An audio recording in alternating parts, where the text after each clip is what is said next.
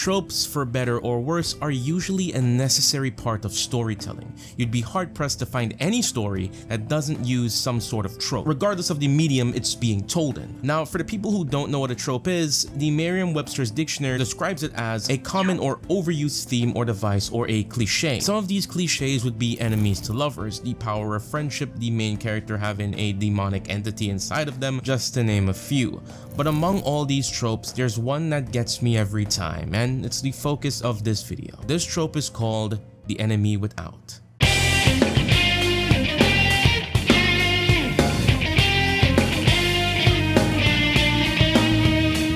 To understand the enemy without, let's go to TV tropes and see what it's described as. When someone's inner darkness doesn't quite take over someone, but it does escape their body and rampage. Fighting someone else's enemy without is tricky, as often it will either kill the person projecting it if it dies, or it will just resurrect itself until the actual darkness in the hero's heart is dealt with by the hero themselves. Often symbolically represents repression and the hero's refusal to acknowledge the darkness within or some sort of aspect of themselves. Victory is achieved half the time via reintegrating with it. The other half of the time it can be seen as representing some inner demon and thus it must be abandoned, purged, or confronted and conquered. Sometimes this battle will occur inside someone's own head in a dreamscape, making it both the enemy within and the enemy without at the same time. It may require saying I'm not afraid of you to weaken it enough to beat it. This approach to the trope is commendable as it fosters a nuanced storytelling that encourages self-acceptance and personal growth. It emphasizes the notion of harnessing one's inner strengths rather than succumbing to perceived weaknesses. Today, I will delve into three of my most cherished examples, beginning with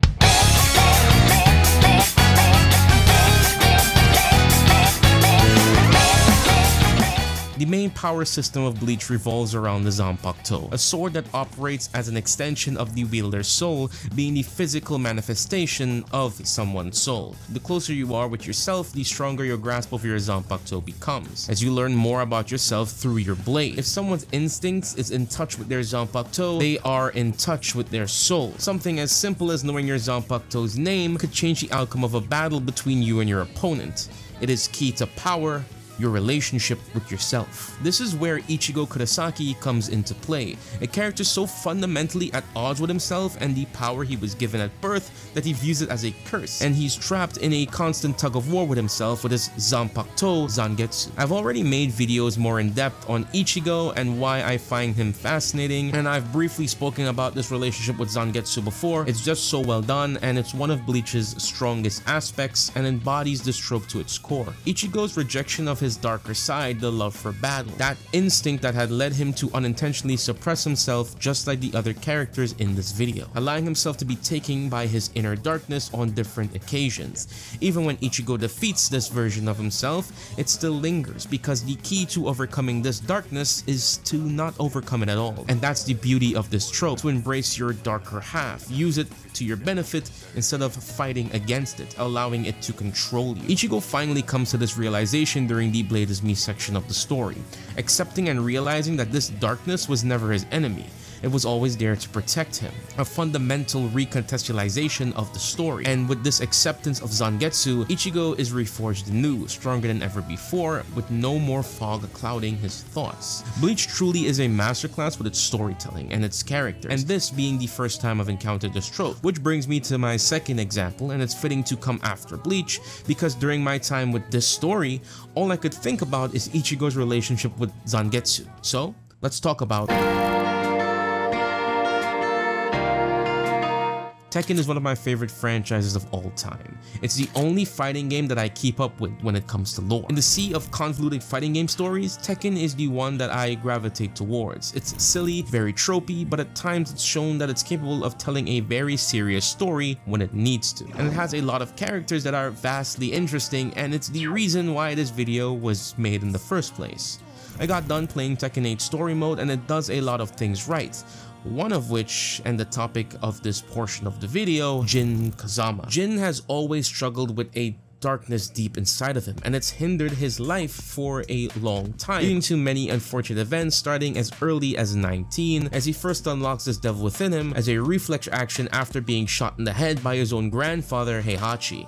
And ever since that new awakening, Jin has been on the run not only from his grandfather, but from what lurks within, this constant rejection of the devil within. In his quest to rid himself of the devil gene, Jin cast the world into chaos, leaving death and destruction in his wake to draw it an ancient entity known as Azazel, thinking that defeating him would end the devil gene for good. This is in vain, however. Even though Azazel is defeated, it does not purge Jin of the devil within him, and it leaves Jin continuing down a path of redemption that Tekken 8 tackles. Within Tekken 8, we're giving you information that recontextualizes a lot of older events within the Tekken lore, and in a way that makes more sense when looking back on those events, it's revealed that Devil Jin was never trying to harm Jin at all. He wasn't some evil entity hell-bent on destruction like Kazuya. Just like Zangetsu, it was there to help Jin. And looking back at the events of Tekken's past, this is pretty clear, because every time Devil Jin has emerged in canon, it's always been in self-defense. In Tekken 3, after being shot by Heihachi, in Tekken 4, during the battle with Kazuya and Heihachi, two people who were trying to kill Jin, and in Tekken 5 when Jinpachi awakens, which I theorize is the Devil Gene's defense mechanism to the evil spirit that possessed and resurrected Jinpachi in the first place. Now, Jin does end up being consumed by this power again in Tekken 5 after he's defeated by Hwoarang, another defensive mechanism as he needs to win the tournament to rid himself of the Devil Gene. This information, however, is revealed to us in Tekken 6, but it did take place during the events of Tekken 5. Speaking of Tekken 6, it is the only game where Devil Jin does not make a canon appearance within the story. He would, however, appear in Tekken 7, freeing himself from captivity and killing the soldiers that tried to kill him and Hwoarang. This idea that Devil Jin isn't some malicious entity is further backed up during Jin's arcade ladder ending in Tekken 4, where he flies off, leaving behind one white feather among the black ones. And in Tekken 6, where Jin is arguably his most evil, Devil Jin never makes an appearance. Everything Jin does in the game is by his own hands. Tekken 8 makes Jin confront himself, question his old ideas about the devil within him, and he's able to accept this part of himself and treat it as an ally, allowing him to awaken to a greater power to eventually defeat Kazuya and ultimately save the world in the process. What I do love about Tekken 8 is the way it integrates its story into the gameplay. The confrontation between Jin and Devil Jin in this game transcends both narrative and gameplay. It masterfully weaves storytelling into the very fabric of the experience. Initially, players are led to believe they control Jin only for the camera to swivel and control unexpectedly shifting to Devil Jin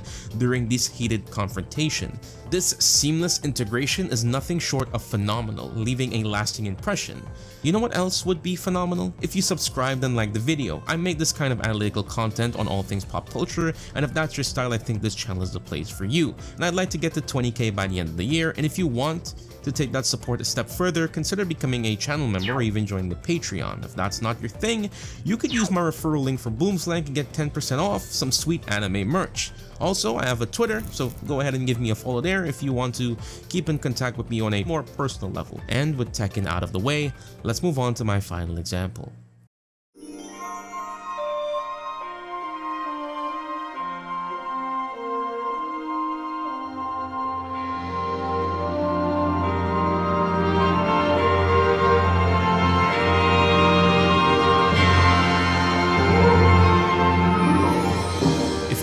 Of this series, there's a few characters that dabble with this trope, Terra oh. being one of them, and even Aqua. But for this example, we'll be looking at the series' deuteragonist, Riku. Darkness has been a part of Riku since the very beginning. Unlike Terra, he was somewhat lucky to come to terms with his darkness early on in Rechain of Memories. In the original Kingdom Hearts 1, Riku becomes a vessel for Ansem, letting the darkness in his heart go unchecked as his body is consumed. After Ansem is defeated, Riku regains his body, but the darkness with him does not go away. It is in intrinsically a part of his soul. And throughout Rechain of Memories, Riku begins his journey of self-acceptance as he faces off against his demons. This comes to a head by the end of the journey. This offers Riku a choice. Which road would he lead? The one of light or the one of darkness? Riku having finally found himself and probably the first person in the series since Xehanort to have a firm grasp at this point over his darkness says this. Neither suits me.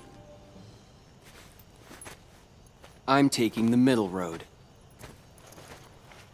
Do you mean the Twilight Road to Nightfall? No. It's the road to dawn. Similar to Ichigo, Riku's journey does not end here. He still grapples with the darkness in his soul throughout 258 over two days and Kingdom Hearts 2 respectively. He's finally able to get a full grasp of his darkness at the end of Kingdom Hearts 2 and during his journey in Dream Drop Distance on his quest to not only become a Keyblade Master but to wake Sora from his sleep. What I like about the storytelling within this example is that not only does Riku's struggle and subsequent mastery of darkness reflect within the narrative, but it's also apparent within the gameplay as Riku uses both light and dark attacks moving forward. By the time of Kingdom Hearts 3, Riku is not only a master of the Keyblade but a master of his darkness as well. This trope's brilliance lies within its ability to delve beyond physical conflict, crafting a deeper layer of struggle for its characters. Here, they are engaged in a fierce internal battle, forced to confront hidden truths and grapple with self-doubt and self-loathing. The exploration of the enemy within resonates profoundly, reflecting a universal human experience. The journey of self-discovery and the fight against internal demons are beautifully portrayed making this trope a truly moving experience. I hope you enjoyed what I had to say. Maybe in the future I'll do more of these videos discussing tropes that I like, and tune in next upload when I discuss Ultimate Spider-Man 2024 and why I think it fundamentally understands Spider-Man as a character better than a lot of media do. This is Grimm Toki, this has been Beyond Animation, and I'll see you in the next one. Peace.